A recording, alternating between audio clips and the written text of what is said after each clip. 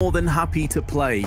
And as they said on the desk, the fact that Heroic start on the T side may not bode very well for them, as Astralis' CT side is known for being so, so very solid. And May just kicks things off with a briskly put in one tap. attack now lighting up the scoreboard with two of his own. And just like that, the round's done. they only lost 2 HP collectively. Astralis off to a cracker.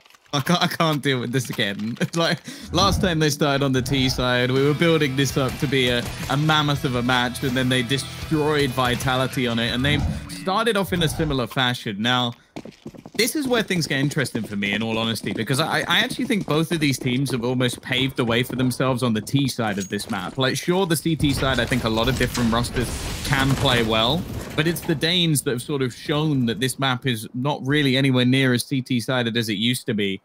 We used to sit there going, oh, the pistol rounds will define whether or not you get two or three rounds in the first half or or maybe zero. Like that that was how this map used to work. I'm I'm thankful for the changes that were made. It's made it an exciting map to watch. Now, Astralis have gone very heavy on the rifles. Great for winning the round, but it means they have to keep things nice and clean. Glaive He's looking to get aggressive here and has Device alongside him. Not a kill in two rounds for the side of Heroic, and Astralis are here to play.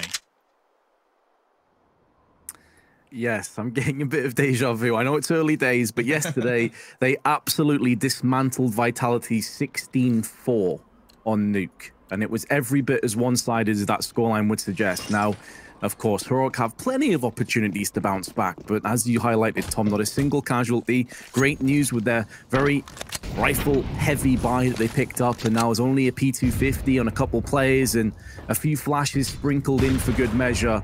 Big grenade damage as well, tossed in towards the ramp from Esitag.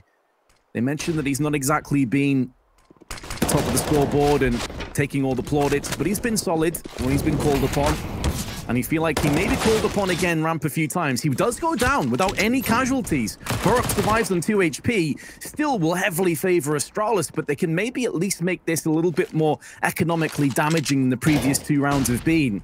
Heroic still yet to get on the bomb. What? That's a team kill. Thorn somehow kills Burrow. I didn't quite catch that. niko's burnt to a crisp. Bomb has been dropped down, and the rest of the pieces fall into I, place. What what happened there? That How was did a stray bullet. That was a stray bullet, 100%. I, I, I think that was who we were watching at the time, and he was aiming down at the player running across, and I, I think there was just one stray bullet that flew off and ended up killing his teammate. That's a bit of bad luck. What I will mention to you, Vince, is that, that's actually quite interesting to me because of how like dominant. Yeah, it was just well, as you as said, He's a stray moving, bullet. Yeah. But um, over the the matches we've seen like this year from Astralis versus Heroic, the lowest amount of rounds that Heroic have got is 12. So uh, they always make it close every single time. In fact, the only dominant maps have been in favor of Heroic with a, a couple of 16-7 victories going back to Pro League uh, Season 12. So that, that should at least make you feel a little bit better, but it could also mean that it's been coming. An S-Tag already going to be kicking things off. dupreeh as well with the SMG. Uh, well, let's put it this way. Astralis have been very good at proving stats wrong so far this tournament, with uh, obviously ZywOo's 91.7% not going too well when it came to Nuke. But uh, we'll see. Because this is already a bit damning going into their first fire round. It's looking so clean. dupreeh already and adding another to the death toll after his MP9 gets upgraded to an AK. He's going to go walking through. All right. Maybe a little bit much for my liking, but hey, he's feeling confident. Keep Heroic on the back foot. Does get caught, though, from Squeaky. Was dupreeh yesterday that was really leading the charge alongside Device. And yeah, as you highlighted, Tom, only three or so weeks ago, it was actually Astralis on the receiving end of a battering. They lost Nuke to the hands of Heroic 16-7. So in recent memory, they do have a bit of data to go off. I don't know how much Astralis have learned from that loss. Obviously, Glaive's been back a little bit longer now, and the troops seemingly like they're getting their act together. It's another very convincing, comfortable rifle round that goes the way of Astralis and Stavn on minus one. Unfortunate with that P250 team kill earlier on, but it just goes to show the complete lack of kills that they've actually picked up on Heroic. And so we move into round five. that's, that's ridiculous. 25% of all of Cadian's kills at DreamHack 4 before this game were versus Astralis, and and that that just proves how long that game was. As said, like one map went 28 to 24, so obviously those stats were padded, but he had a mammoth series. Like that's I would go as far to say I think that's the best match I may have ever seen Cadian play. He got almost 100 kills across the three maps. He went 97 and 59. The next best in the server was dupreeh with 81. And you have to remember, Astralis won that series. So he got plus 38 and lost. Pretty absurd, isn't it? But so far, shut down as have the rest of Heroic. Looks like a bit of a technical issue maybe coming into play here. Play is deep in thought and trying to figure out what the issue is. In terms of the buy here, though, as well, Tom, as we move into round five, it's not as if Heroic have tons of money at their disposal, looking like more of a half buy. Ordered by it. Sorry, they just I don't understand why his room's so dark. like, turn some lights on, buddy. This is this got to be bad for your eyes. See, this is how you know you're getting old, Tom. I see that and I'm like, isn't that straining his eyes? isn't that just wrecking him? He doesn't care. He feels comfortable. And I'm just thinking his eyes are burning. Maybe we've been playing wrong. Actually, I say that. I did exactly the same thing. But you know what? Uh, my eyes aren't quite as valuable as uh, the talent of TeSeS acting like his parents in this situation. But the, the pause has ended. Device looking to go straight back. Like the, the break didn't change anything. This man on Nuke looked ridiculous as we saw him. Like dupreeh definitely took the star of the show, but Device was ruining anybody that came into his path, including ZywOo on this map. Overpass was also a great map for Device. Obviously, this round is just pistols, but at the same time, you, you want to be getting something done, Heroic. Yeah, even though dupreeh started to outshine Device towards the end, Device at one point, I want to say had 11 and 1 and something like 180 ADR early on against Vitality. He was the linchpin early on in those rounds just set everything in motion. And then it, it became the dupreeh show when things got a little bit more scrappy. Esatag on to Stavn, who only with a pistol, wasn't really expecting too much out of that. Cadian goes down to Device, that's a 3k for the star player on Astralis. Now TeSeS, he's not going to fare too much better. 5-0. And another clean sweep round. That's what, three out of five, I think, where Astralis have not lost a single player. Astralis are looking scary, to say the least. I, I will say, about all the teams we've seen this tournament, I think Heroic are definitely the best at coming back. Like they seem so resilient, and in, in terms of mental fortitude for such a young team, they have a lot of it. So I, I don't think they're going to be crumbling anytime soon. They knew picking this map that they would be going up against a powerhouse over the last three months. Astralis have a 93% win rate on this map. They have one loss, and that is against Heroic. Now they're already very close to doing better than they did last time, Vince, and this is a much faster take. This is what I love to see with this heroic roster. dupreeh didn't even notice they'd walked into the site. I don't know if the grenades shrouded his judgment a little bit, but that's round done already. What the hell is TeSeS' sensitivity? It was like he was spinning around 360, looking at all the angles at once. He's got eyes in the back of his head. He's a chameleon.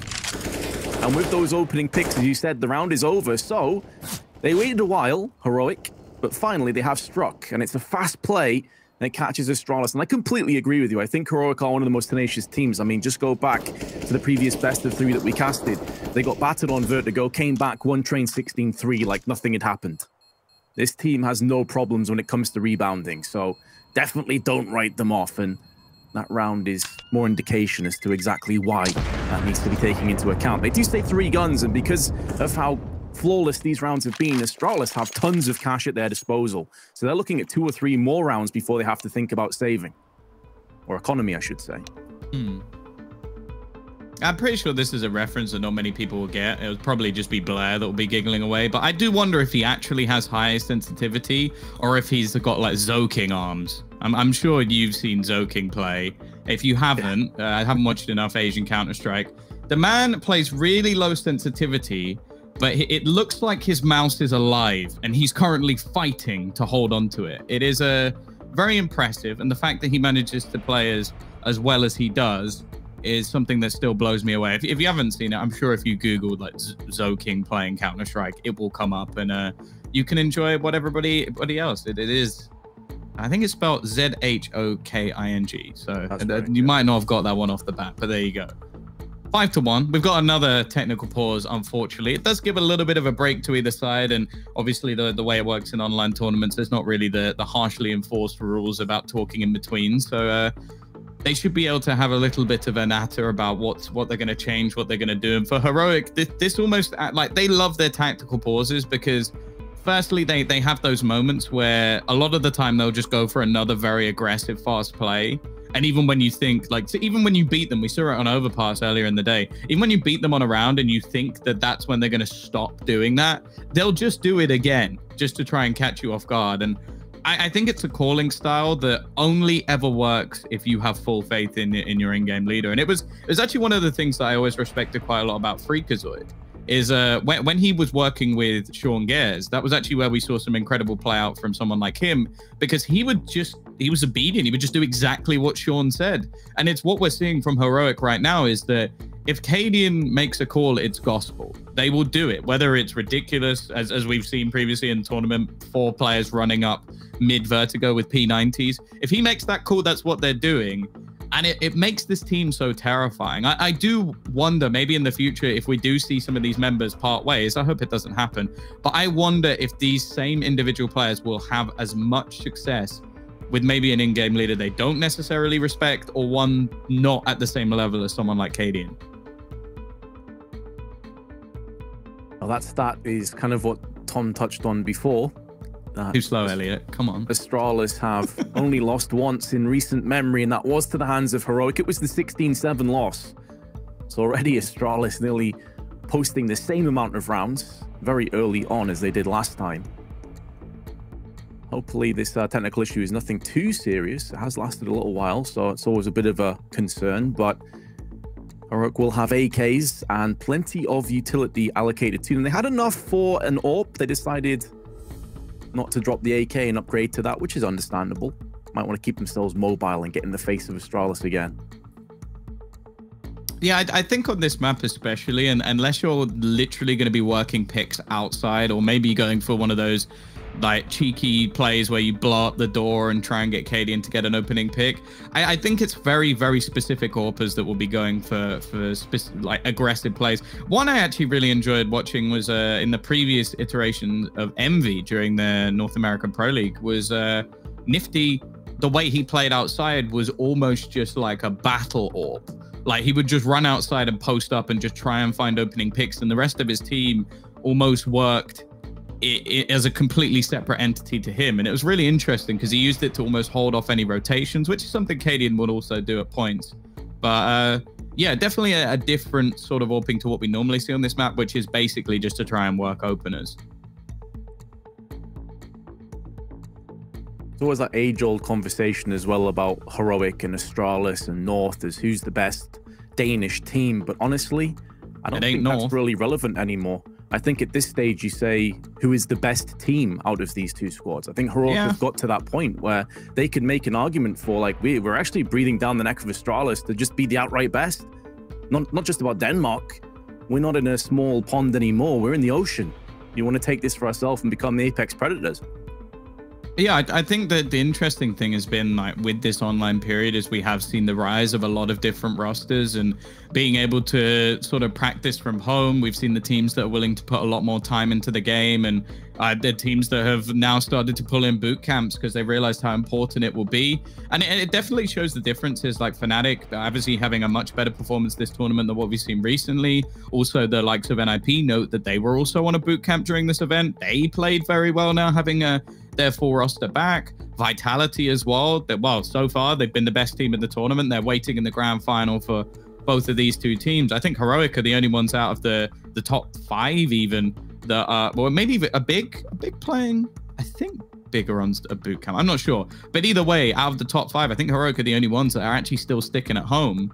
But I've obviously just been grinding it and seem to still make things work. And it was even something mentioned by Stavn, the fact that him playing at the offices, even just that, even though he was on his own, he, he didn't have any of his mates around him, that's still enough for him to perform at a higher standard. So I do wonder if there are tournaments coming up for Heroic where they might opt to try and, and play on a LAN setting because obviously they are all in Denmark, so they don't have any of the problems that some of these international rosters like FaZe might have, or uh, even even if you look at like G2 or someone like that. So we'll, we'll see. Maybe they'll do that for upcoming tournaments. Maybe they won't need it.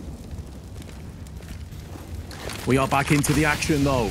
Technical issues have been remedied. And Heroic keeping with those AKs as we mentioned. Meanwhile, Astralis, two orcs all picked up on device. Plenty of money still in the bank. Glaive using that smoke to allow him the opportunity to try and fire out. We've already seen device in this very position earlier on with an M4. This time it's the AWP and it's the same result again. He tries to repeat, but the next two kills go the way of Heroic. And now they look to try and rummage through the smoke. Glaive tries to pincer into action with a double spray, but he only can get one. And now dupreeh stands up, tries to deliver, but it's him next on the chopping block, leaving Esatag one on three. He's dropped the bomb down, but his head gets cleaved off, and Heroic strike twice in a row. Yeah, the way that heroic uh, throw their smokes outside also makes it fairly easy for them to isolate a lot of these jewels. Like they, they end up pushing through the initial one, and then it takes very aggressive plays for the CT side to try and hold on to that control. Now, for Device, obviously that first kill works out in his favor. The, the repeak's risky, but at the same time, you don't normally expect to just be insta-domed by someone facing back out, especially when they've had to turn onto the angle. And then from then onwards, it just became a, trading for heroic, which I, I think is something that they they're going to do very very well. So second round on the board. The thing is with the the save that came through previously and the amount of money that was actually in play already for the side of Astralis, I imagine there is still going to be an investment back into this round from them. So uh, it's an, a slightly extended break, but I imagine once again there will be a buy. Yes, indeed, there shall be. Unfortunately, that does mean there is another technical issue, probably the same one, I'd imagine, uh, to do with networking, which is always a bit of a nightmare. But it does also put the momentum a little bit back in favor of Heroic, I'd say. I mean, after Astralis take a quick 5-5-0, a few timeouts here now, and this is where that resolve, that concentration will be tested. Have obviously already played today, a best of three, which was started, I believe, Danish time at 1 p.m. We're now getting towards the night time. So these guys have been battling away for the entirety of the day. Astralis have been able to sit back and basically watch, try and pick up some tells, maybe some reads, and spring them into action. We'd love to break down the game so far, Tom, but we haven't really seen a great deal, to be honest. So there's not really much to say. Mm. But I think the interesting thing that we could mention is obviously the the main reason that everybody's here. The money's nice. Also, you've got some Pro Tour points on offer, which are always fantastic. But the main thing is the RMR points. And for both of these teams, it's it's a slightly different story. Obviously, both right near the top of the moment after this event, currently in third and fourth, but that's all subject to change based off this match.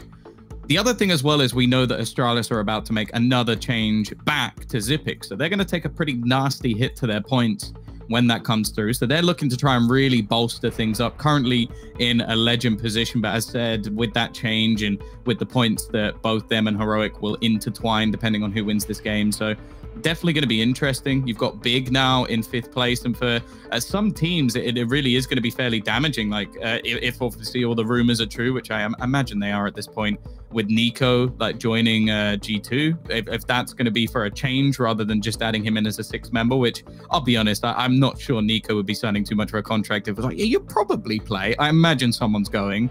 Then uh, that's going to be them taking a hit, and they're currently in seventh place. So there could be some rises. And there's some teams, for example, like OG. OG didn't even play the first RMR event. They they had a zero points, but you have to consider if we're about to see like G2 make a move, Astralis have to make a move. OG might be moving into like one of the further up spots without even playing the first one, which it, it, for me at least is hugely impressive. The other one to mention, which might be a big surprise, but obviously finishing fourth at this event, NIP are currently moving into a, like a top three spot So it, it really is all up for grabs. And the most terrifying thought is there's currently teams like mousesports who are not making it to the major. You've got ENCE who are not making it as well. North are right on the brink. FaZe kind of right on the brink. And as mentioned, they're another team where, well, if NiKo is removed, that's technically another change. So that's more points lost for them.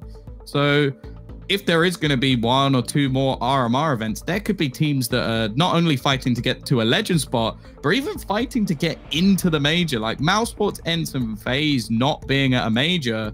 Okay, maybe ENCE haven't quite been as good as we'd like, but not being one of the top 11 teams in Europe, come on, that, that would be unacceptable.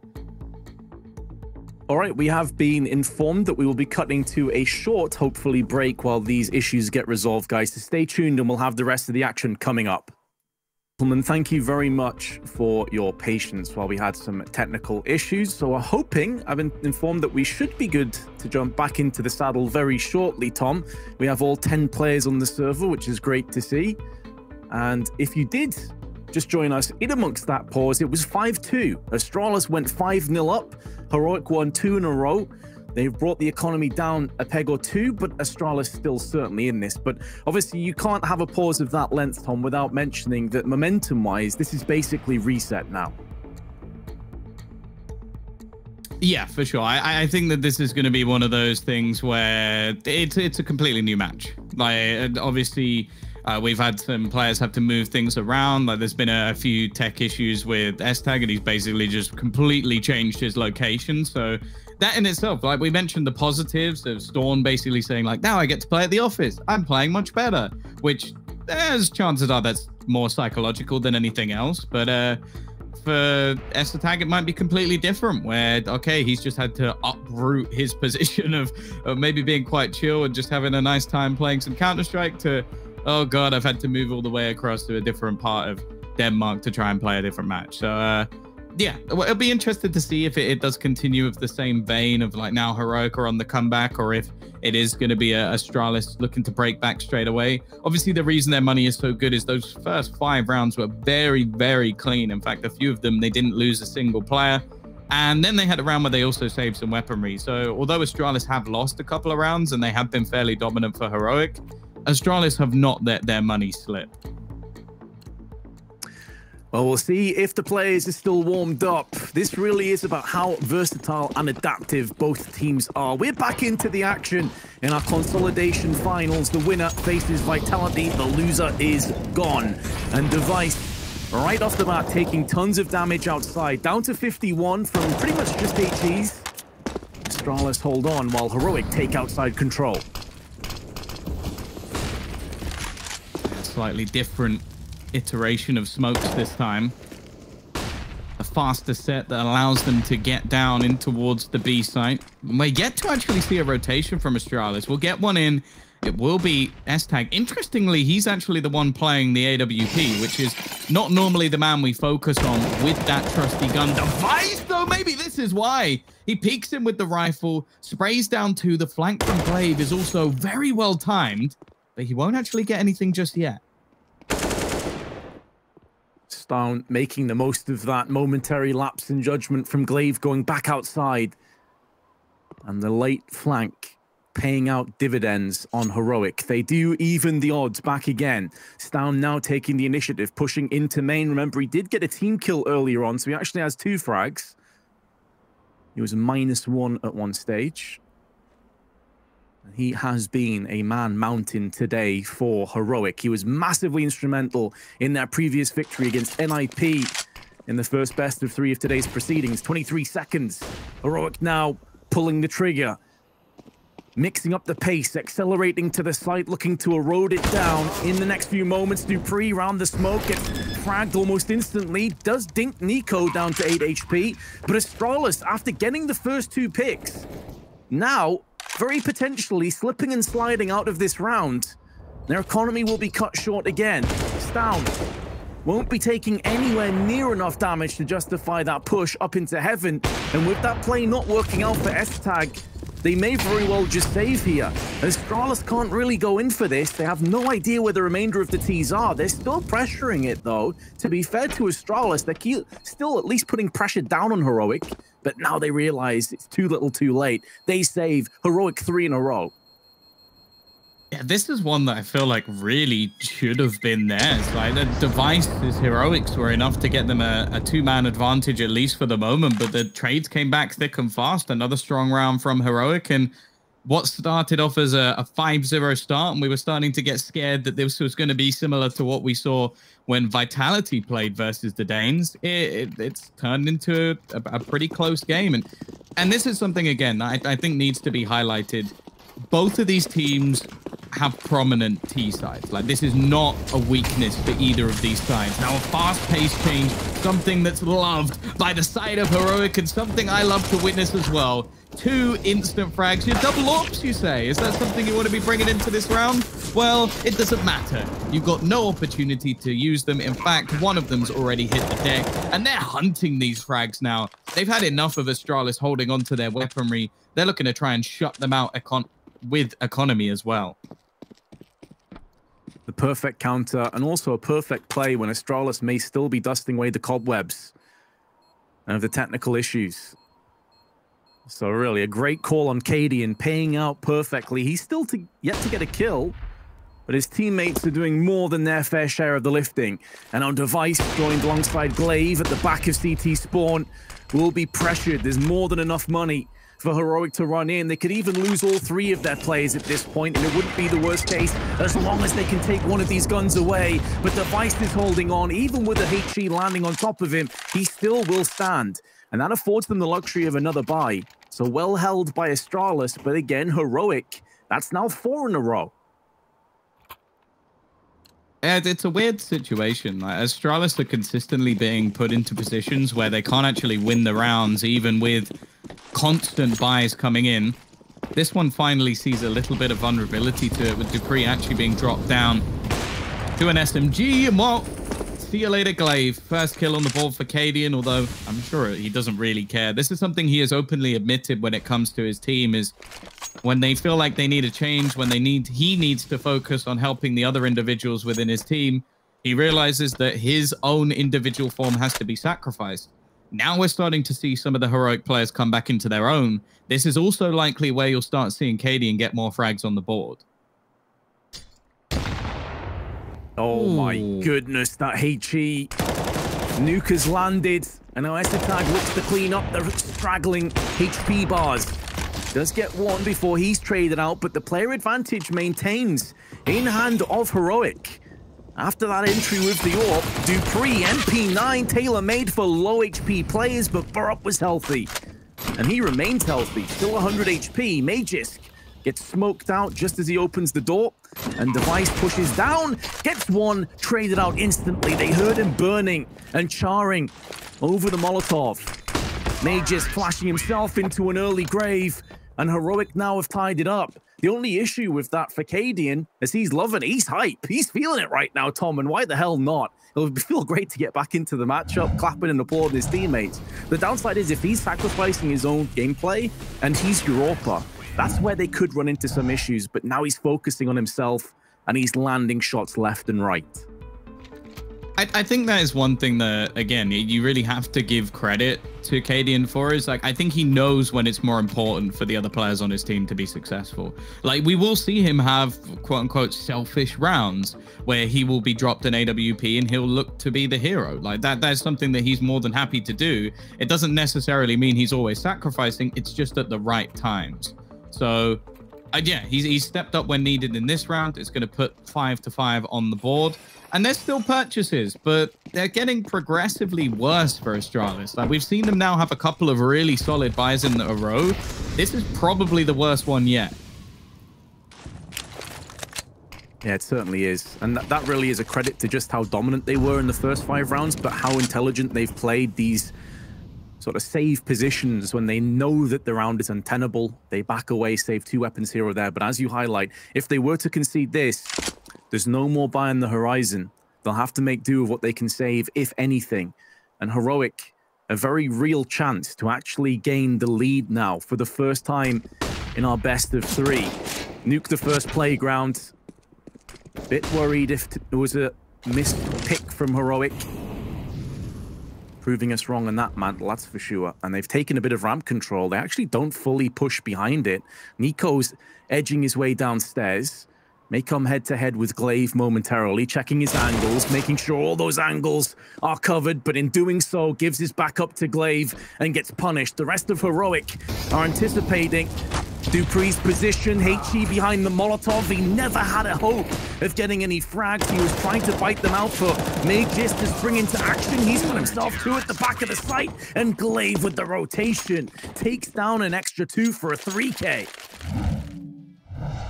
Yeah, very well played from gla1ve. Obviously starting off for the rest of the team, but this flank towards the end was what actually won them the round. Magisk also did a fantastic job at staying alive. I do like that little combo though. Like it, it's uh, an extra $300 expended by Heroic that not only does it like do, obviously do extra damage, but it also leaves you a little bit stunned. So the chance of you actually getting out of the Molotov is even less likely. It's a shame it doesn't really work out for them, but they have stacks of cash. And on the other side, Magisk is now down what is a shotgun. Device, however, is going to be the one to get the opener, but TeSeS has been able to take position over him. It doesn't seem to matter, though, with Device landing almost every single shot he's given. Es3tag tries to spray them down and does a hell of a lot of damage, but the bomb is going to be planted. And while that's money secured at least for Heroic, the round, however, looks unlikely does look unlikely, but it's not as if there's a ton of incendiaries or HEs that they can burst back into the site with. So Stone and Burup's low HP may not end up mattering a huge amount if they can get those crisp one taps into effect. Down though, XM is tailor-made for these kind of incursions. And will be invaded again. Borup Using that 20 HP to devastatingly strong effect before dupreeh spins around, takes him down. Check the time. It's low. Cadian could feasibly pull this one off. Spray's not on point, though. He gets punished. It's super close, but Astralis will just about get the defuse. One thing that hasn't changed from last time on Nuke, sure, dupreeh's not quite like as stunning as he was last time, but Device, dear lord, the man's on 13 kills. It's easy to forget the early streak was a lot down to him performing to an incredibly high standard. And sure, there have been a few rounds where he's just been saving the AWP, but hey, it, it's worth the save. Seven to five, tactical pause taken from Heroic. I, I think it's always going to be the case, especially on Nuke, that your focus of your pauses should be on the T side. That's where ultimately, as an in-game leader, you're going to be able to have the most impact. Whereas on your CT side, sure, you'll probably have setups, you'll have ways that you counter certain things.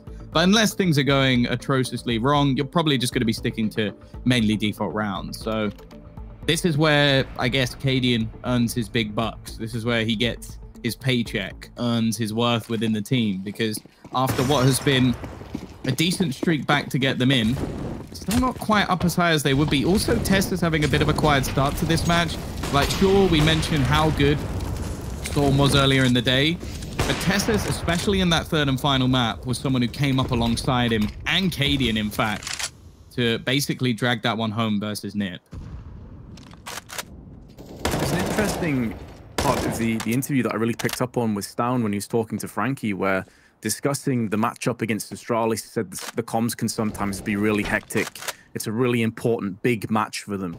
And I wonder, sometimes you forget just how young these players are. They not have a ton of experience when it comes to these kind of situations. You're in a consolidation, finals, the RMR, so many points on the line. Does he start to get in his own head? Does he have that clarity to continue to perform? Es3tag, M4 in hand, wielding against TeSeS, the first two picks go the way of Astralis and Heroic after winning five on the bounce and looking invulnerable in part and now being brought back down to earth. Storm, though, aggression. We saw him picking up the second AWP on the CT side. We know he has it within him to make this gun shine, but only has 40 seconds allocated to have his impact felt. Borup and Cadian making moves down ramp. Es3tag, after getting the first pick on ramp, has fallen back behind the silo and is eagerly anticipating that this push is very possible. They will look to try and annul his partnership with that site as Stavn is faking as if they could be pushing on A, trying to keep some of these players interested. attack, undeterred, his focus is razor sharp. and his resolve is up to the task. Eight seconds to play with, and the T's have given it up. They look to save. Astralis win again. They're actually going to keep the two orbs. Like, th this was not something they needed to pick up. Especially, I was quite surprised, in fact, that Storm, sure, taking it for a moment, maybe to have a peek outside, but to keep it afterwards, that's a little bit peculiar, especially on a map like Nuke, where but sometimes we even say teams don't even need to use one orb. So uh, this is going to be a weird round. I, in fact, this may be a round that I don't think I've ever seen on Nuke. Is an eco round with two orcs on the T side. It does ruin any idea or prospect of playing aggressively. Because you as good as Stavn and KD are, don't get me wrong here, but it's not really a mobile weapon, is it? gla1ve, though, getting one, traded back by NiKo, and the T's actually lead by a player in this round. More aggression around the corner. dupreeh tries to flick in and gets it done. And that's maybe where having an extra assault rifle or hell, even a P250 or a Deagle could have worked out better because once Cadian missed, his life was forfeit and dupreeh survives with 3 HP. They're still not out of the woods just yet, Astralis, but at least there's a bit of sunlight between the trees. This is much closer than I ever thought it would be, but I, I guess when you don't have one on the DT side currently, you have players peeking in with that option. Like, the, the fact is, if Cadian's able to hit his shot, or even if maybe he just has a pistol in that situation, he probably gets the kill onto dupreeh. This is a slightly interesting angle, though. Yeah, I was about to say, if, if TeSeS predicted that, I would have been very surprised. Es3tag still playing aggressively. And now it's left all onto NiKo. One versus three. 25 seconds left. The thing is, even saving here, like, sure, you're going to have the AWP for the next round, but it's going to leave a really awkward situation because he can drop one over. Storm could potentially take the orb, but then he would have to have an SMG. So either way, there's going to be something in this round that's a, a little bit off for them in terms of their finances. Either that or maybe Cadian drops a rifle and he takes the AWP, but I, I think the Heroic have sort of put themselves into a spot financially that they never really wanted to be in. Meanwhile, in our other match on the B stream, OG looking like they may very well hold on to this post plant. Excellent work. They move 12-7 in the lead in the first map against Sprout. Meanwhile, though, a game that has a lot more bearing on the overall outcome of DreamHack Open Fall. Astralis jockeying for position, a chance to get their revenge against Vitality, perhaps, or maybe Heroic will turn this back around on their Danish brethren. Final round of the half, though, as you were kind of alluding to there, Tom, you have a bit of a juggling of weaponry, and Stavn is dropping down to a Galil. But at least Heroic have enough to play with and plenty of utility allocated to them. gla1ve forced out of position. It does give quite a bit of map control available. Odd smoke. I don't think that was intentional, but you know what? Given quite a bit of control over to Device, and TeSeS, I don't know if they will have expected him to get this far. This could create quite an awkward situation because he's managed to bypass Device without him realizing, and Storm, well, he just about gets away with that kill. The problem is, Device is going to get one for free. They've managed to sneak past him, but he's also found a loophole within the defense. And actually, Device has given the information to dupreeh that they could have Heaven control. They've somehow made this one work for them, and they're starting to clean things up, Vince. It leaves Storm, the only man with a kill in this round for his side. 2 HP, 4 kills, and 30 seconds. I was going to say in a dream, but honestly, this could quickly turn into a bit of a nightmare. It is a said, nightmare. yeah, I mean, you, you're painting the picture, Tom. It's it's bleak at best, isn't it? Even if he can somehow get a plant down with all of the CTs staying together on the upper site, of course, he does have the bomb. He wants to try and nullify a couple of these okay. players down. I love the idea. He can get a plant off the back of this, in amongst the smoke. But again, a single bullet and he's gone. In actual fact, he gets denied. As do Heroic, it will be 10-5 to Astralis after a 5-0 lead and a technical issue, but we'll be back after the break to see if they can convert side. And Tom, I know you've mentioned this a couple of times, but it's not as if this will get any easier for Heroic because Astralis' T side is pretty damn good. Yeah, and this is their pick. Something also to mention just slightly. We're very lucky. We've got the three best European teams. oh my god. Okay, device, take take the scene. You, you've you've got my attention, that's for sure.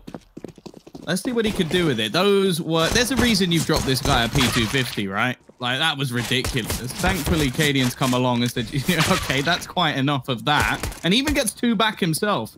They've made this pistol round very interesting indeed. And Barup has spotted them rotating back towards the A site. In fact, they run into him once, he comes back round and they run into him again.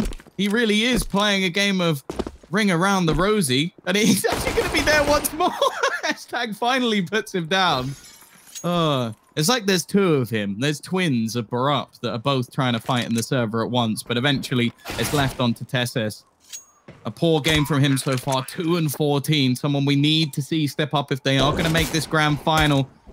A pistol victory might be enough to do it, but they're both waiting around this corner. He needs two quick taps, and instead, gla1ve is going to close this. I love that cam.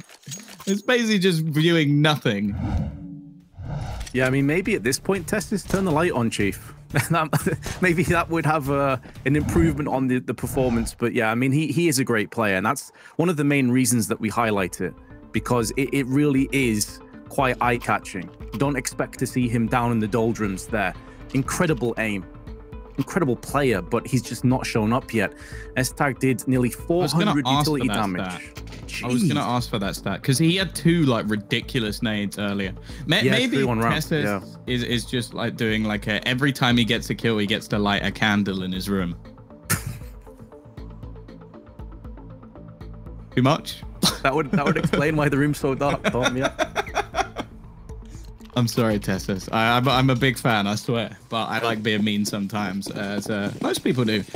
Nonetheless, we are going to see an investment. Now, I mentioned this earlier in the tournament, something that I didn't want to see carry over from Asian Counter-Strike, which was the 4D.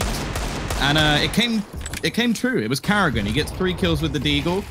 Uh, we'll see if the curse has still continued. Can Heroic pull something off? Cadian, the scout wheel has already been tagged tons. There's a good flashbang, but it's affecting his BTs just as much as the Ts. NiKo, so confused and bemused, he actually tries to one-deek his own teammate down in secret. And in doing so, gives his back up to Tag. An awkward start, but it seems that Astralis' superior firepower is now coming to the forefront. And it was Cadian who was tagged first. He still stands alongside TeSeS, who's making moves up via Squeaky and Vent. He has also been dispatched. And it looks good for a 12-5 lead with Cadian trying to save the scout. Yeah, it may not seem like the the greatest save in the world, but obviously with the amount of damage he can do with tags and then give his teammates an opportunity in the next round with the USPs. It would be heartbreaking if this this continues though for TeSeS, because this is not the norm. For obviously he is one of the and newer members of this roster. The the rookie, if anything, but he's not even the youngest on the team. That's how ridiculous Thorn has been. He, he definitely might be just crumbling under the pressure. It's not something I expect, though. I think it is just one of those maps. And as we've sort of mentioned, like one thing that Heroic can definitely do is come back into things. It was a straight up dome as well teammates like, cheers, uh. mate. Like, what have I done to deserve that? I'm trying to help you out here. It's but like yeah, the I mean, right-click knife in the back when you're playing MM. It's like, oh, you, you, why have you done that? I now have 70 HP. Thank you. Thank you very much. But he had 50 kills in the series against NiP, which is more kills than anyone on NiP had. gla1ve onto NiKo. It is effectively an eco round. But then you also look at the, the overall stats on TeSeS, statistically, he is one, if not their best performing player. 1.17 impact, 80 average damage per round. That's more than Device, by the way. So this is a guy that can be an absolute powerhouse. And that's why it catches us off guard so much when he's not performing. Because you know what he's capable of doing.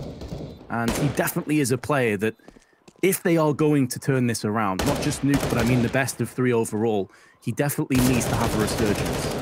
He needs to have Cadian maybe have just a couple of quiet words and encourage him a little bit. You saw Cadian when he was starting to pop off and get kills applauding his teammates. He looked really hyped, really pumped, but now that they've gone down so many rounds, I doubt that's going to be the case. Down at least gets the one.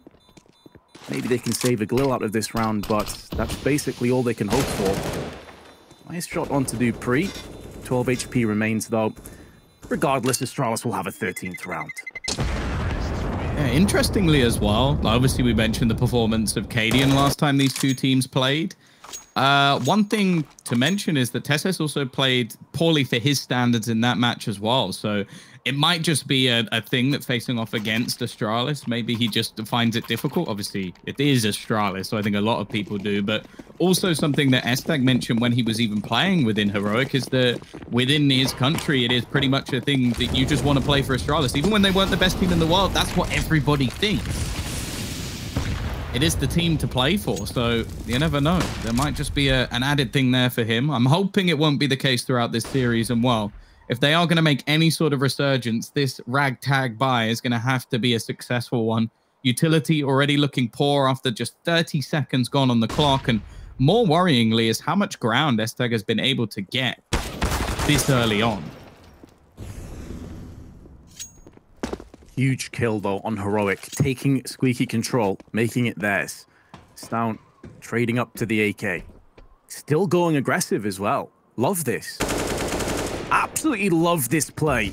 So many teams against Astralis retreat into their shell and just hope for the best. But Heroic are taking the initiative, trying to make Astralis a little bit more uncomfortable, playing the mind games. But this could backfire. He goes out one too many times and he's been punished, and that gives a chance for Astralis to get back in. But the door's been closed and it's Borup that slams it shut with his M4.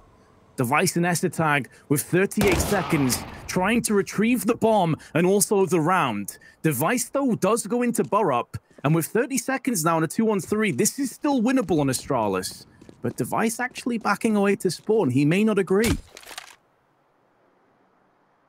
Yeah, there's still an awful lot for them to do in this case, and well, it seems like they are going to be just saving the weaponry they have. It confirms a buy for the next round. So if, if they don't think they're going to be able to do it, it's definitely worth just keeping that weaponry forward. And for Heroic, it, it gives them at least a little bit of a breather. They will have enough to juggle some weaponry around and at least invest back into this one. But for Astralis, they've, they've got rounds to play with. They don't have to risk everything. They're not in a situation where they have to try and just take all out risks for no reason.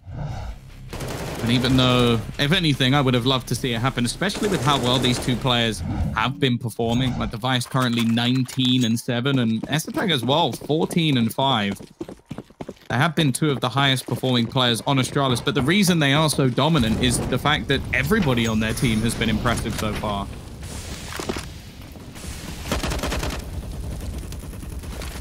Wall of smokes has been built up outside. Oh, this time through the smoke, and it's Es3tag that's on the receiving end. Device while flashed. Still connecting the dots onto NiKo. And that offers up a little bit of outside control. Stavn, not only with the opening pick, but doing a lot of damage through that smoke. And Cadian comes in again. TeSeS does strike onto Magisk. And it seems like Heroic oh, is no. starting to awaken, but Stavn's been caught by dupreeh.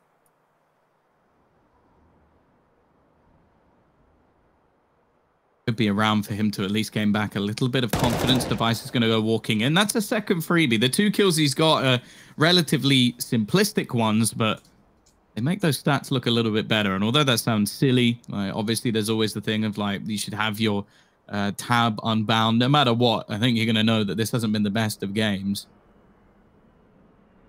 dupreeh, though, looking to be a, a, little bit slimy in this round. Sneak his way through behind. The problem is bomb control is there for Heroic, so no matter no matter where he comes from, there is going to be somebody keeping an eye on that angle.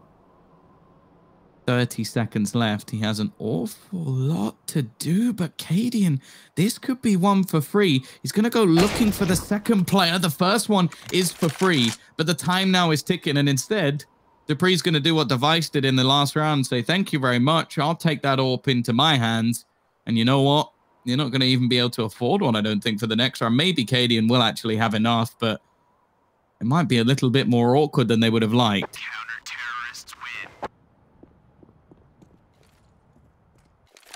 I think dupreeh wanted that shank kill. The only reason he didn't go for it is because his back was to the wall, and it's always awkward in those kind of hitboxes.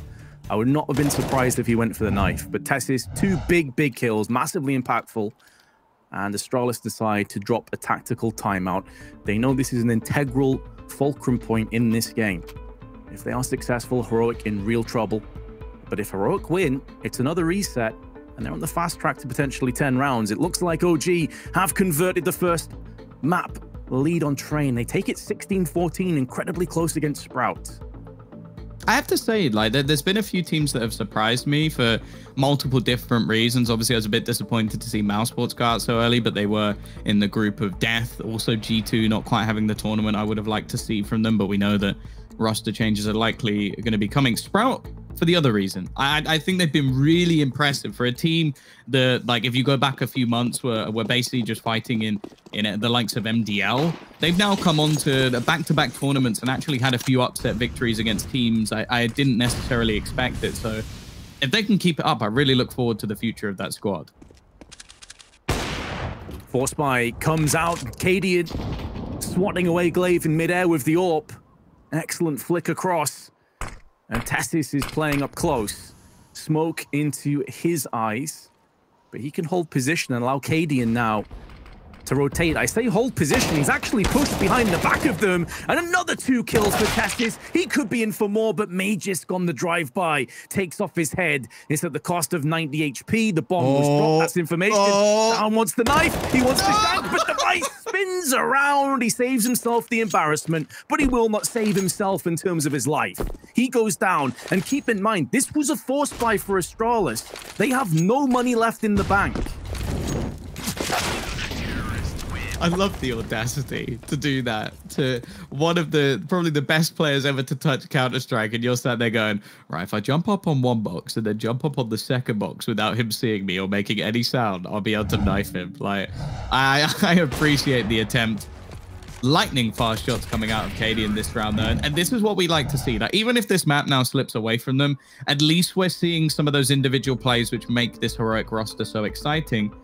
The other thing, though, is this is now not that far away. Like, we still give this over slightly to the CT side. So, Heroic are definitely not out of this. And if they can start to gain momentum, we know that they have probably the greatest cheerleader of all time in the form of Cadian. He'll be keeping everybody's morale up. I think that's one added thing that a lot of teams don't necessarily have. That's that's why I actually have quite a lot of respect for someone like Neil M because he gets like good plays out of players that well, a lot of the time get down in the dumps. So you've got him screaming behind you, and he'll get you rolling. And while we're seeing some of those players step up, the last two rounds for TeSeS have been better than the rest of the map, even just statistically. So if he gets going, Storm continues, Cadian starts hitting a few shots. Who knows? This might not be done just yet, Vince. Definitely has that air of a comeback about it, doesn't it? Stavn Outside, he's really started to deliver another 3K. He pinces in onto Tag. Device has the right idea with a D, but just can't get any of them to land and down with a 4K. And yeah, it's almost like this infectious enthusiasm. You can't help but be affected by it in a very positive way. You can see smiles on the face of there as the camera cut to him. They're starting to enjoy this a little bit more. And why not? They have Astralis against the wall. They're turning up the heat. It was mentioned by uh, the desk earlier who they'd love to be playing with. Potter said uh, down, and I can understand that. Uh, she might not get to AWP as much as she used to, if that's the case, because he's pretty mean with one. I think I'd take Cadian. I think I'd play much better with Cadian. Like, uh, bigging me up. Barup, though. Gonna meet a nasty fade, but Here he is again. It's a TK in the mix, but Storm will claim four. It is a ridiculous round from him once again, just spraying down the investment from Astralis, and they're to need a moment. They're to need some time to reset after that one. The young star is coming up once again. And again, we see some slow starts initially for Heroic. But this man today has not had a single bad map. He had 73 kills in a best of three with two very one-sided maps earlier against NiP with ADR off the charts, with a rating off the charts. And now he's doing it against Astralis. This guy is a real threat to be reckoned with.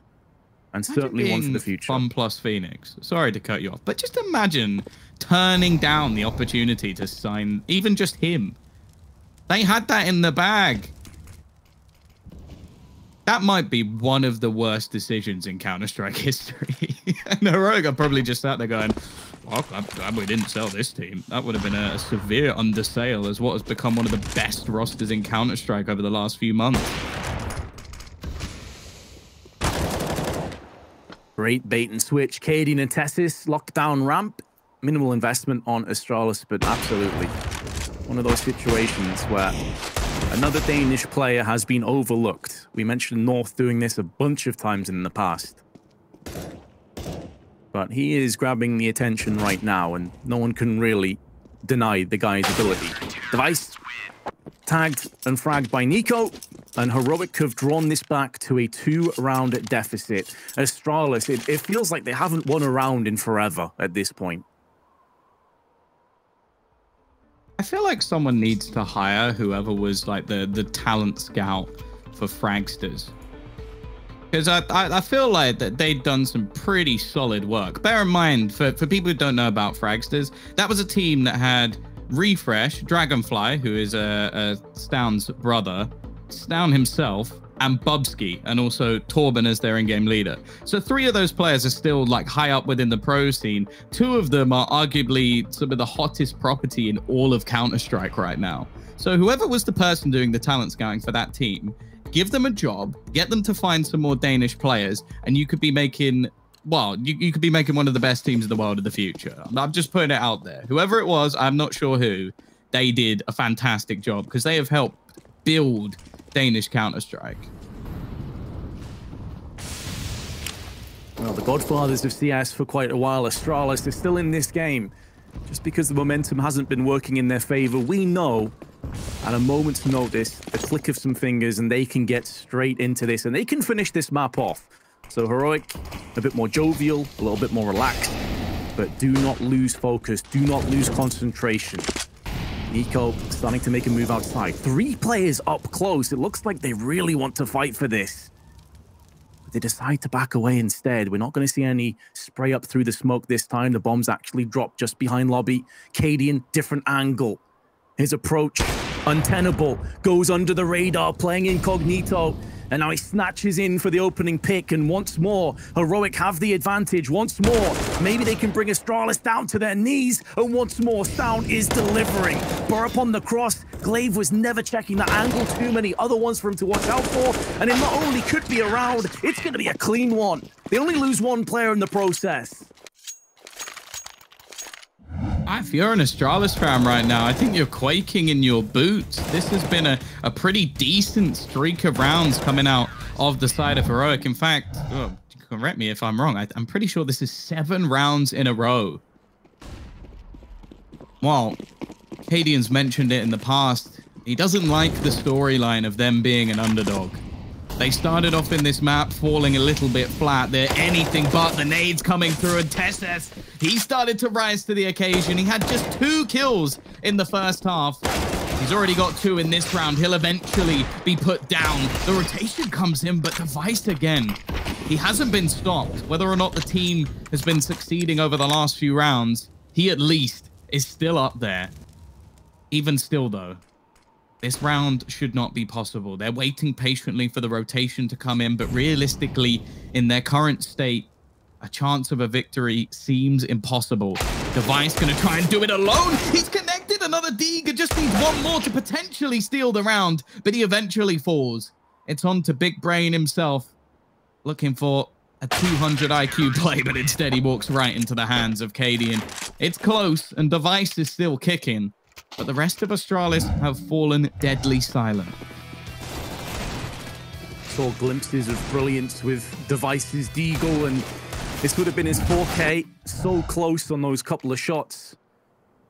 Dangerous game of whack-a-mole, but now Heroic, you were spot on. It was seven, now it's eight. Eight unanswered rounds on their CT side. There are money booming. For the rest of this half, regardless of what happens, they will have buys. There is no easy gimme round for Astralis in flight.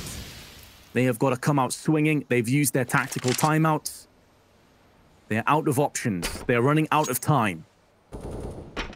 They need to get some entries, Tom, because it feels like they've been on the receiving end of like the last seven or eight rounds, losing the first player outside, getting orbed, getting sprayed by Stavn, just never really getting a foothold. And now he's changing up his angles again. Haven't really seen too many aggressive moments here. Cadian flashed through, not giving his position away, goes in for the peak. This could be a huge moment in this matchup. Sees the trajectory of the grenade. Stavn moves in again. Spray is good for one, and he also dinks Magisk, who survives on 15 HP, but that incendiary will keep him at arm's reach and allow Cadian to stay outside a little bit longer. Astralis have had to change their play. This is something that just wasn't going to work. They're going to try and pressure TeSeS once again. He's managed to find a decent angle, but has to just retreat. Manages to get back down the ramp, and the chase is on. Astralis, they smell their prey, but what they don't realize is he's backed them into a trap. Cadian now waiting with the AWP, and with 30 seconds left, even a few slip-ups coming in. Pressure pushed onto this A site, and NiKo's waiting for it. They have a crossfire setup. In fact, two players just waiting down below. They read this perfectly, Vince. It's left all onto Device once again. He has 12 seconds, and it's turned into a save. At every turn, Astralis meet a heroic stack. They played that round to perfection, and now they take the lead. Cadian is living in Astralis's head rent-free. He knows every single move they make before they even realize it. This is some exceptional Counter-Strike on Heroic. They were 5-0 behind, 10-5 behind at half-time, 13-5 behind, and now they lead. We said this the other day, Tom, it doesn't matter how long you trail as long as you end the map ahead. That's all that counts. And Heroic now two rounds away from converting, and the buy from Astralis is rough. Only two players have utility, and only one smoke left. This is the thing with Astralis, though. No matter what the situation, they can steal around from you. No lapse in judgment is allowed for Heroic at this point. Their Danish counterparts are one that they're not going to take lightly. NiKo is prepared, but the Molotov will force him off the angle deep enough that he can't reface the tag's position. They expect it. They're waiting for that man. They face off and take him out of the question for this round. 4v5. Nice shot from dupreeh, though. They might need a little bit of magic from him right now. He's definitely not been as impactful as previously, but be honest, I put that down to what is a massive resurgence from the heroic side. It is Stavn that has been put a peg into the grave here, which is significant. He has been one of their heavy hitters. As you highlight, it's not just been a one-man show. He's had a supporting cast. The likes of TeSeS standing up. Burup's had some big moments. Cadian's been flicking left and right, had some really, really big rounds. And with 22 seconds, Astralis Need to start making a move. NiKo narrowly misses out the head. That could be costly if device that still stands and actually drills him through the wall in the head. And with that pick, that should be the round going the way of Astralis, and you go back to the what ifs. What if NiKo carves his head off when he had the opportunity in control room, Tom? That could have been the round. That could have been the map. Well, yeah, I, I, saw him looking towards the glass, and now obviously the glass does sort of shroud your vision a little bit, but I do wonder if he saw the scope and just decided to leave him be. Now, if I'm heroic here, what have you got? What have you got to lose? Your money is through the roof. You're going to be able to buy until overtime. There's no doubt about that. Can you do some damage here? Can you take some weaponry away? Can you even upgrade to an AK? It's a small victory, but it's something nonetheless. And they are looking to try and hold these remaining players in. he goes hunting, but he's eventually shot down. No real extra damage done, and we go back to an even scoreline. Now, I'll bring you back to the very beginning of this tournament. It is fitting that it comes right through to the end of it as well. The last time these two teams played, there was a Vertigo map that went 28 and 24. That was the opener of the series, which Astralis went on to win. Heroic are going to want to try and steal this one away from them. This was a pick for them, of course, one that we knew was a risk, even though they beat them last time because Astralis are more than competent on this map. However, they've made a fantastic comeback. And they get it over the line. This is a huge risk from Stavn. He's going to get away with it, though. One of the main ways they got back into this game was off huge risks. Stavn with that audacious play through lobby, peaking multiple times. Back at 13-5 feel like a different lifetime ago on Astralis right now, but they are making moves downstairs. They've not lost any early players, which has been the exception to the rule up until this point. They've typically lost one or two in their endeavors downstairs. Down though, up close, flashbang comes out. M4 is good. He has surrounded by players, but NiKo has his back covered, and he still stands for a little bit longer. Even though he's fallen, the damage has been done. It's been briskly and swiftly put into the opposition Danes. And our Magisk, in a one-on-four, no control over the bomb, no idea where all these CTs reside, now knows that TeSeS to his right-hand side, takes him off, executes him down, 46 HP, separating Magisk, separating Astralis, and a map point for Heroic, and they deliver. They have a chance to take their map pick after being behind pretty much the entire map. Oh, we've always seen sheer tenacity of this heroic roster, but I think you've just seen it embodied in full. They were so far down. I think you mentioned it. Was it 13-5? Yep. Since then, they've lost just one round.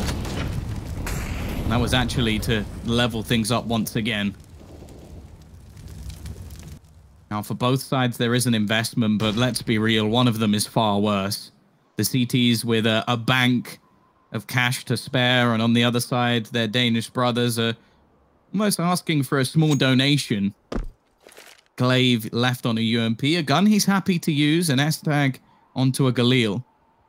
They do have the big green on device at least, but that's without armor, grenades, or anything else. However, in this map, that's all he's really needed. This is an orthodox position on Cadian, but because he's mixed his angles up so many times, Cadian nearly gets punished. Shoulder peeking the angle. And now Cadian flashed out of position, has to give outside control up to the T's and dupreeh some aggression. Now turning the tides. Not allowing Heroic to get comfortable, not allowing them to get set up in their positions. TeSeS locking it out through lockers, but actually, he gets shoved in there.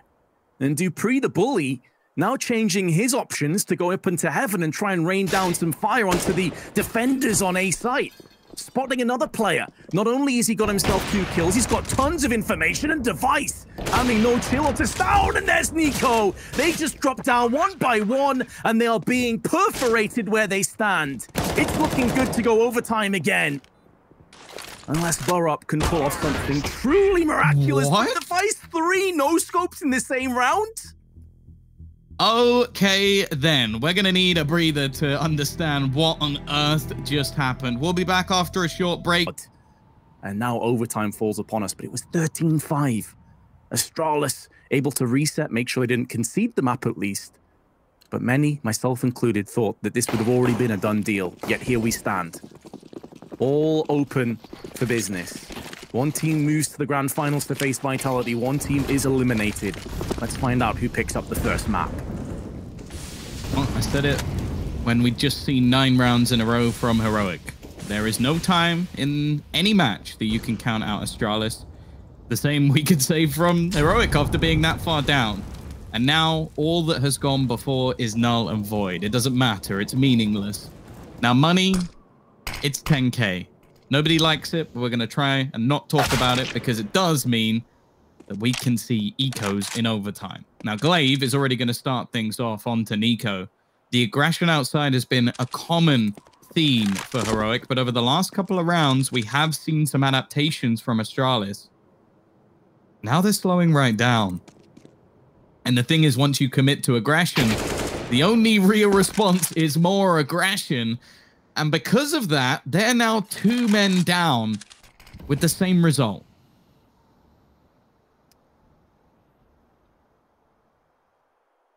Stavn and NiKo already has been silenced. Cadian could flick onto Magisk. I wondering if he'd come out second best in that, if timing would work against him, because the smoke was about to clear. 30 seconds. TeSeS, who moved outside of ramp, now goes back in there again, but it's dupreeh who has found his form once again with the AK. Insta headshot, Cadian through the fire, through the flames, into a stray bullet. And Astralis claimed first blood in overtime, and the smiles are back again. See, that's the thing. I, I that's one thing I've never understood. I, one thing I never think I could I could achieve as a professional player is to throw away a lead that big, win a round, and just be like, that's fun." Like I, I feel like I'd be so stressed in those moments, and I guess with a with Astralis, it's a it's a daily occurrence, something they've been through so many times. But I don't know how you get used to that.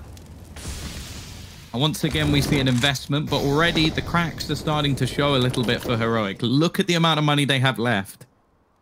If they lose this round, they go in with pistols and SMGs. Not what you want to see in overtime, but unfortunately, that's the reality we sit in. TeSeS had a real resurgence in the second half. Still not quite where he'd like to be, but as said, stats at this point don't matter. It's all about the rounds. Oh, that's so unfortunate. Device gets saved by the box and Cadian misses his opportunity to even the odds. Device now with a peek onto NiKo. And just as Tom highlighted, the economy on Heroic could not support all these casualties. So this is looking like it could easily be a clean sweep, but Stavn, that man, there has been a real linchpin on so many of these rounds on the comeback trail is still standing alongside Borup, but I feel like it will be that bitter medication that they have to take down here for the save. They can't really afford anything else. Now, maybe if Device gets picked off, that's not that can trade hands. Cadian can get himself back into that one. He was weakened by TeSeS earlier on on Secret, now gets finished off. So that will be a naught picked up. And that would be a nice bonus. But ultimately, it still will read 17. 15 Stavn is flicking left and right, getting aggressive again, but that's at the cost of his life. Meaning not only do they not save the AWP, but they only keep one weapon going through. Somebody is getting wrecked in terms of their weaponry here on Heroic. Yeah, I, I don't even think it's just, I think it's a multiple players are going to be having some real troubles when it comes to the finances in the next round. TeSeS SMG, Borup, shotgun. Now, we saw him pull out the shotgun many a time. Uh, was, wasn't really very successful. I'm not saying I'm... Uh, I, I love a shotgun, Vince. Like, you know me, I do like the XM. But I like it when it works, which, uh, I guess most people do. It's not really very exciting if they just get wrecked. The question is, can he make it work? Because the, the, one thing I will say about these sort of rounds is normally you see teams throw in something a bit more spicy when you have problems with your economy. You're going to try and be more aggressive. You're going to try and take real risks in these sort of rounds. And a lot of the time, that's why you see teams actually win these third rounds more often than not, because you have a specific plan in mind rather than just your default rounds. Now, for Borup, he is in a prime position here. But the fact is, Astralis are being very careful. I think they know as well as we do that this is not going to be a good purchase for Heroic.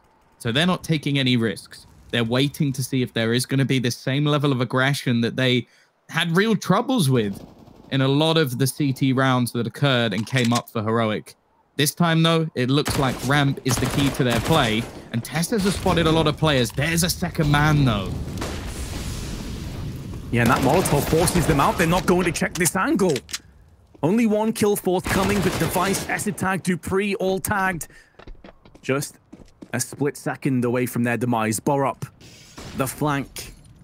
He wants to lock it down with the XM. It was something like six rounds in a row where he failed to get a frag last time around, but he may be able to jump in here. Actually goes back to try and pick up the assault rifle, decides against it. Only three players left and 12 seconds allocated to Astralis, who look to dip down onto the site. All three players weakened. Very close to their demise. Device is still waiting outside. The bomb does get planted. This is where Device's position could be oh. so brutal, but Borup spotted him. This is where he wished he had anything but the XM. Fortunately, though, Cadian comes to his rescue. There's a boost up. A bit What of an off this? angle you probably don't expect if you're the CTs, but they have spotted it and they have dwindled away dupreeh and now Es3tag. There will be no clean sweep. It was looking grim, but Heroic do bounce back. But that's the thing, like it, you sort of spoke about the boost that was coming in from dupreeh. I'm almost more interested in the boost that was coming in from the CT side on the other side. Like they were boosting to almost peer back through the gap. I like it. Like look at look at this. They're boosting over the top of the boxes. That's really cool. I don't think we'd see that anywhere near as often as the the players at the back of the site. But it, it's exactly what I said, Vince. It's one of those scenarios where teams in those rounds take big risks. They took a gamble on the ramp, it pays off. They didn't waste an awful lot of time for Astralis, and somehow it always seems to happen that those rounds where you actually have a weekend purchase end up working out. Now, this is something we witnessed a few times. Es3tag now picking up that secondary orb once again. It's one that seems to be very map specific for New because he does normally play onto that ramp side. The question is, can Cadian work as that can opener and ruin either one of these Orpa's day? Hefty investment may catch up to them, as it did for Heroic. Just want to highlight as well, by the way, that Stavn, 33 kills, around 100 ADR. Nearest player is Device, with 82. There is a big discrepancy between Stavn and the rest of his teammates. But Device has been head and shoulders above the rest of his team as well, so it really is a two-horse race with Support and Cast trying desperately to clamber on to any opportunity afforded to them, but Device neutralizes Cadian outside. He tries to rummage away, but Burrock does get him in transition, and now it's back to this longer range skirmish. TeSeS with two massively impactful entry frags, and Es3tag joined and greeted by a Molotov. Cannot make the most of that heaven push, and with 10k being in play, to start things off, he has to think about saving. That does bring Heroic back to an even keel. I, I know that I, I know that we always mention this, but please, please, please, just not 10k. I know that there's some people like, oh well, yeah, you can see auto snipers. I'd rather see that than saves. Like if it's a choice between auto snipers and saves, I'll take auto snipers every day of the week. Because this is not what we want in overtime. It's a fantastic round from Heroic. Let's not take it away from them. But I want to see this man try and 1v3 with an AWP. I don't want to see him sat in a corner trying to hold on to it and being slowly hunted by the members of Heroic who are not going to take it away. It will be kept. The question is, will it be kept by Es3tag? Or is he going to... He's going to hand one off, but does he buy another one? Because it didn't work too well in the last round, especially with the pace. This is something we mention all the time with Heroic. They love these fast takes, and doing it in overtime is something that I will always respect the team for because there is so much on the line. Got multiple overtimes last time between these two teams. They didn't get it sealed and delivered on the first time of asking. gla1ve behind the smoke wall. Trying to hear for some information to relay to the rest of the troops. Devices downstairs. Anticipating that this wall of smokes may very well yield a push into his angle. He has the perfect angle to deal with this, but it's a bit slow. From considering he's on 31 kills, you really expect him to land that. Es3tag and gla1ve both come in with frags, but just proving that Device is mortal yet. Magisk, big entry onto TeSeS, back into the site again, but not anticipating that he gets peeked simultaneously from the doors and behind Silo. And gla1ve has taken this momentary chaos to try and get up close and decon. He needs dupreeh to lend him a massive helping hand. He sticks on the bomb. He doesn't have a kit though, and he gets punished. Cadian comes in with a frag. He's been tagged down, but goes for a repeak and will reap the rewards. Heroic with a map point. I remember early in this game where we were talking about the sacrifices of Cadian. He was sat down on two kills and really not having... No, actually, in fact, he was 007. Well, he's just hit 22. And as said, the stats from before are completely meaningless. He's hit the shots when it mattered. Now, the saves they had previously actually give Astralis at least a buy in this one. It's, it's not anywhere near the best they could hope for. In fact, utility after just 15 seconds is down to a single flashbang of smoke. It mentioned they didn't have a kit in the last round or they didn't pick one up. They don't have one here at all. So this really is one of those rounds where Astralis have to dig deep. Now, they did it in the last half. To bring it to overtime the first time, they had buys that were definitely not ideal. And while there is this man again. You mentioned that maybe he should have hit the shot in the last round. He connects it in this, but there's an instant response, and this gives up the ramp. Barup, it seems like he's just going to go barreling onto the site, but there is a man they might not expect to be here so soon. But what? He is saved by the bar. gla1ve goes down. It's another man lost. A man advantage kept by Heroics down, however, has fallen. The peak comes back in for Magisk over the last few rounds. He's gone huge. And this time, he gives them an advantage in the retake. No utility and the lack of kit starts to come to the forefront. Astralis know they have to mix up the pace. They have to get up close. Cadian Plenty of utility, including a smoke and a Molotov. Borup push the back of the slide, gets triple peaked, and it's Magisk who gets the third. Cadian now needs to rip around the corner, needs to have impact. He's waiting. He's waiting so long. He finally gets the frag, but it's not going to be good enough. And we move to second overtime. Dear Lord. It, it, it's getting sweaty back here, that's for sure.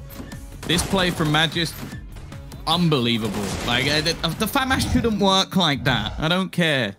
I can't do that. There is, yeah, maybe he's a major MVP, but that, that's not the point. Well, we're right back to square one. As said, everything that comes before is meaningless, and gla1ve, this is where he looks to try and get a little bit more aggressive. The smoke wall has fallen, and if anything, that's helped him get away. And you can see both teams do this. They like to watch the edge of the smoke, start to play around the back of them because it's a very common thing to try and make plays through these smokes. And in fact, Heroic are looking to do just that. Device is ready and waiting though. And gla1ve, in fact, was watching as well. NiKo's at least managed to find one and he almost finds one through a smoke and the vent. Now, Es3tag has been taken out the last couple of rounds. He needs to do something here. If anything, falling back might be the right play. They've already got a man to the good and this time he'll escape. And to the good, but actually behind in terms of overall HP. Well, you can scratch that statistic. That's no longer the case. Down, been dealt a hefty blow. Magisk gone 14 HP, really coming alive in these last few rounds. And dupreeh will tag team in with Magisk flashbang. Astralis take the lead again. We thought this game would deliver, and so far it has, Tom. Yeah, I wonder how many we can go for this time. That's that's the question on my mind, at least.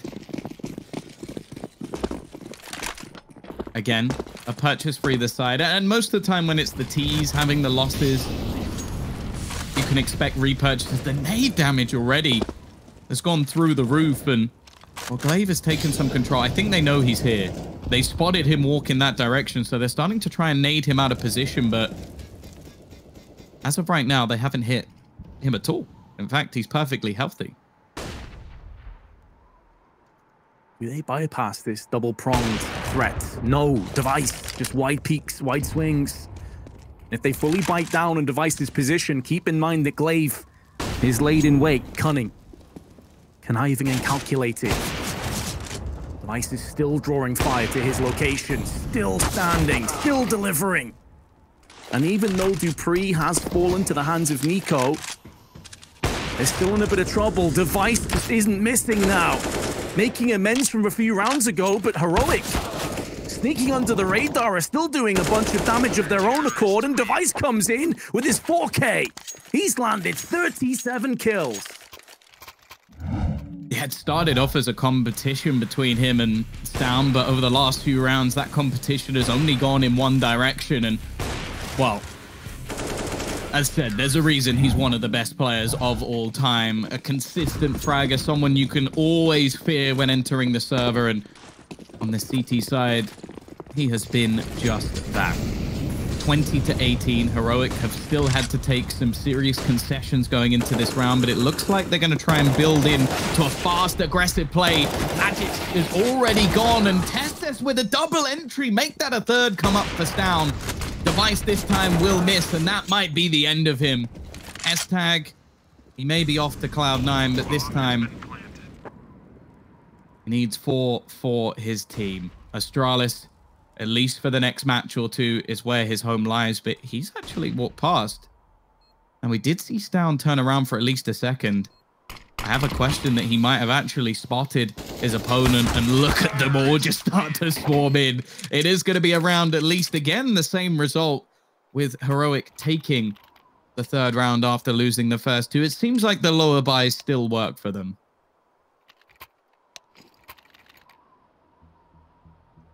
A team that simply put are never out of the fight. So often we've casted him in only this tournament and we felt like it was probably over. And then suddenly they snap back into action, they activate, they get it done. Astralis still in the lead, make no mistake, they still can definitely put this to rest. Of course, 22 is the number that they're both jockeying for now. Astralis one round closer to that mark. This being the choice of Heroic. Next map would be Inferno. And if we need it, we have the tantalizing prospect, Tom, of a repeat performance on Vertigo, which is the very map that we had multiple overtimes on the very first day of DreamHack Open Fall.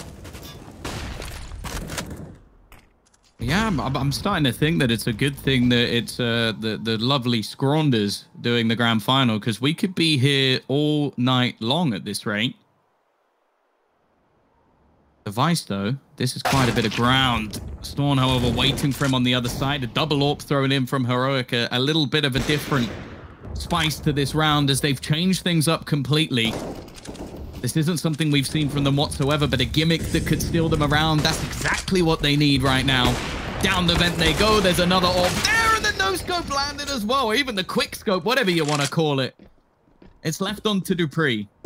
A one burst is four. He's only kept things even so far, so he'd have to hit the 30 bomb right now and just look at them. They're homed in. He's surrounded, and he has 30 seconds left. He is being swarmed. He does at least have the bomb. And the trajectory to get down to the site can save plant. No one can deny this just yet, but they are going to get very, very close on the approach. Molotov behind him needs to stand his ground. He knows every second he stays out in the open is one closer to death.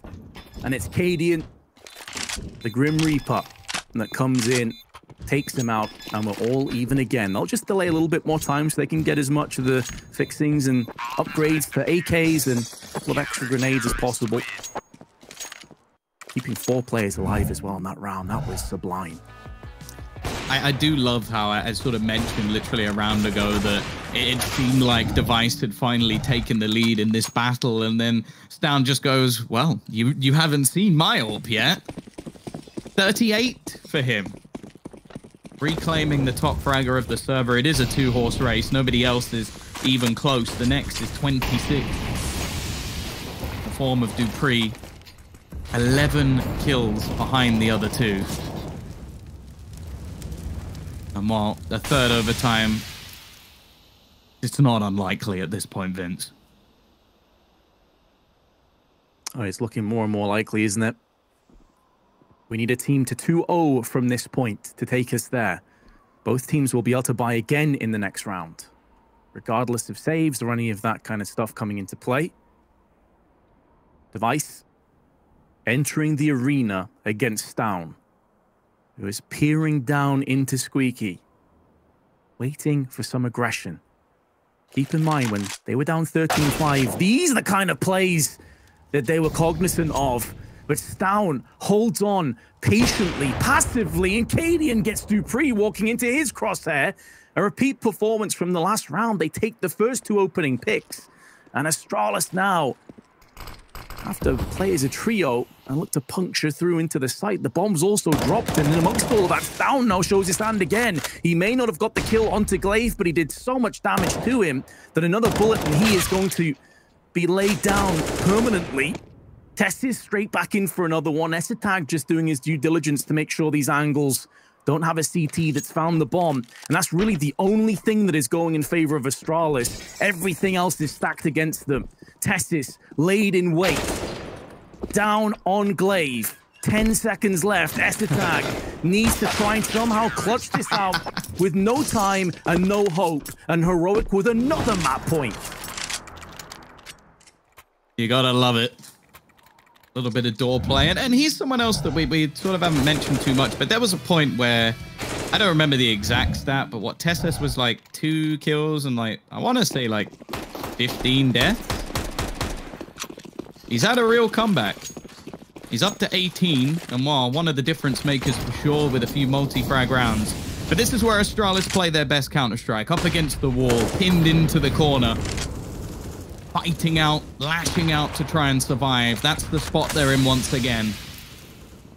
As Heroic have another map point. There are a few teams that dare pick Nuke. In fact, I no, no, let's change that. There are no teams that dare pick Nuke into Astralis. There is only one team over the last few months that's beaten them, and we're watching them right now in the lead. 21 for Heroic. Another attempt to take this first map and lead into Inferno. Question is, can they finally do it? Because they've had chances already, Vince. Oh, they've had chance after chance. Astralis even though they led for the vast majority of this map, when it came down to the wire, it was always them saving map points. Not imposing their will, but just desperately clambering on for extra lifelines. Here comes the play. It could be the final one of Nuke, and Borup holds on for two kills single-handedly, maybe taking this away from Astralis. Magisk one on four. He's got the first, but his position is known, and TeSeS stands up tall, delivers the headshot. That's all she wrote for Nuke. Heroic have took their choice. They have come back from 13-5 down to win it in the overtimes. Of course, there is plenty